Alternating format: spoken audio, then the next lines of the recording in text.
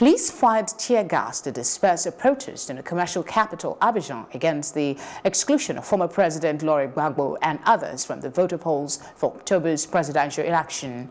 Hundreds of protesters had gathered outside the National Electoral Commission's headquarters to demand that Gbagbo, his ally Charles Goudé, and former Prime Minister be included in the polls. The Electoral Commission said the three were not included because of criminal convictions and that it will consider appeals against their exclusion. But their supporters say President Alassane Ouattara's government is trying to silence political opponents before the election. Joining us now is Foreign Affairs Editor Aghogho Oboh. Thank you very much for joining us. Thank you very much. Is it surprising to you that Mr. Gbagbo still has supporters despite the ICC conviction? Oh, well, not surprising. If you look at someone like Laurent Gbagbo, who's been there for uh, as president and as opposition leader, you know, he's, he's been in this sort of position for several uh, several times in his uh, political career. You know, he's popularly called the baker, the Cicero. So uh, he he trans he transmuted from a professor in uh, France as an opposition leader, came into Cote d'Ivoire, and then uh, became president. He has always had supporters. So even even during the period, um, you know, when you've been in power for those for several years, like Gbagbo was in power from um, the uh, early 2000 into the late 2000. Uh, it was always obvious that he would have this sort of supporters behind him. And a country that um, is, um, you know, stringed along ethnic lines in that sort of way. It was almost inevitable that he will have uh, this support going for him. Even while he was at The Hague, was, there was a lot of um, um, calls for his demand, for the demand for his release, because um, it was believed that what happened after the election in 2010 was a political contest that Ouattara also had um, some of his supporters involved in some of those violence incidents that played out. An incident that was in Cote d'Ivoire uh, during the crisis in 2010. I was also there with Ouattara's um, uh, 2016 when he was uh, going for a second term in office. And one big thing I found that was that uh, the, the, conversation around Gbagbo was never ever settled. Uh, so sort of swept under the carpet. So uh, it was inevitable that this would happen. And with respect to the protest, incidentally, a couple of days ago, uh, members of uh, Gbagbo's party had gone to the Electoral Commission to voice their complaint that they couldn't find his name on the register.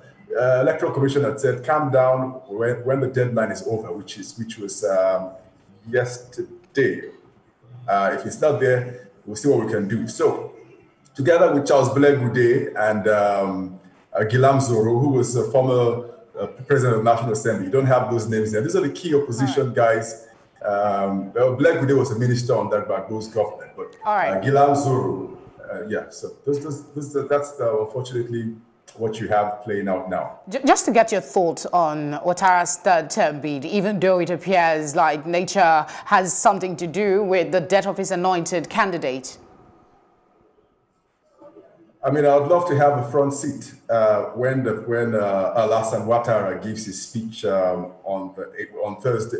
Well, to, to, just 48 hours from this, from then. So um, under a lot of pressure, is going to have to make a decision. Um, he wouldn't want to go for a third term, but it look, looks like his hands have been forced into trying to make a decision. You have people within the president's um, party that you probably would think um, that they Bakayoko is the, the, new prime minister. His name has been has been mentioned. The party's um, chairman uh, uh, leader has also been mentioned as a possible candidate. But these guys don't have the sort of clout uh, Ouattara has. So his supporters have sort of, um, you know, pressured him into trying to make a decision. So no one knows what is in the mind of Ouattara now. International community say, don't do it.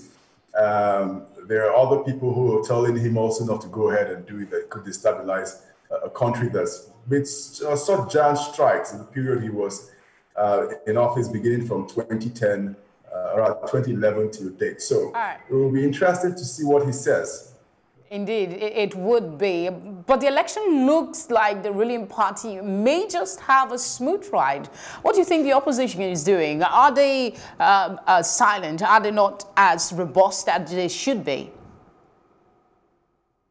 So, uh, Alassane Ouattara is kind of the RHDP. Uh, so um, that, that the party which he represents is um, was formed into a coalition, which is what helped him become president in 2010, and more importantly, uh, second term in 2016. And uh, he formed a coalition with who's supposed to be um, one of the major candidates also too, uh, was former President Konan Bedie. Uh, so Konan Bedie uh, uh, uh, is supposed to be the opposition. He's picked up a, form and will be contested in the election in October. But his party is split. So some of the guys with his coalition with Ouattara have remained with uh, Ouattara, while others have continued with him. And interestingly, Konan Bedie was part of the protest today, uh, demanding for um, uh, the, vote, the, the, the, voting rights for Alas for Laurent Gbagbo, Charles Ble Goude, and Guillaume Soro. So that, that should have been the position, you know, but it's already splintered. Um, uh, Laurent Gbagbo is away from the country right now, but he, he he's thinking also to, if he comes into the country, he could stand a chance and be the candidate for his party. His party is also splintered, uh, the Ivorian National Front. That party now has um, Affi, Affi N'Guessan.